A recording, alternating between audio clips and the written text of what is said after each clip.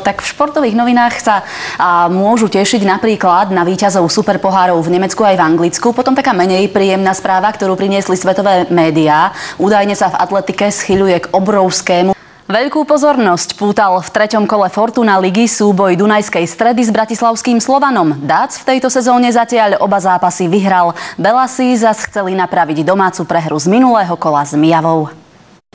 Po prehrách so Slovanom aj Žilinou sa chceli hráči Zlatých Moraviec pred svojimi divákmi vschopiť a pripísať si do tabuľky prvé body. Proti však boli Trenčania, ktorí sa tesnou výhrou 1-0 postarali o to, že Vion ostáva aj po treťom kole s nulou na konte.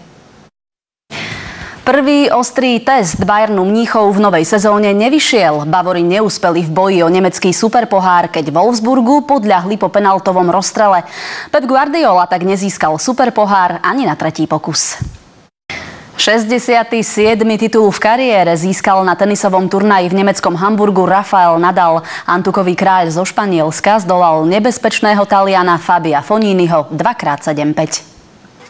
Turnaj žien v Baku mal vo finále hneď dve prekvapenia. Iba 20-ročná ruská Margarita Gasparianová vyhrala nad o rok staršou Rumunkou Cigovou 6-4, 5-7, 6-2 a medzi profesionálkami zaznamenala životný úspech.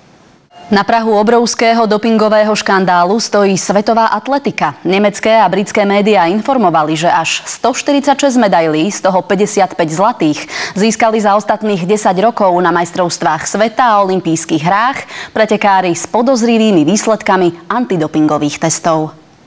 Dnes prinášame opäť dvojitú dávku frajerov. Ten prvý vie šikovne kľučkovať. No a okrem toho Brazílčana Alexa Tejšieru zo Šachťaru Donetsk zdobí aj skvelá kopacia technika. Druhého frajera sme našli v zámorskej Major League Soccer. Obranca Vancouveru Pamodu Kach je poriadny lišiak. Red vo výslužbe a extrémne nebezpečný. To je americký akčný film s celou plejádou hviezd a Markíza vám ho ponúkne už za moment. Krásny večer a dovidenia.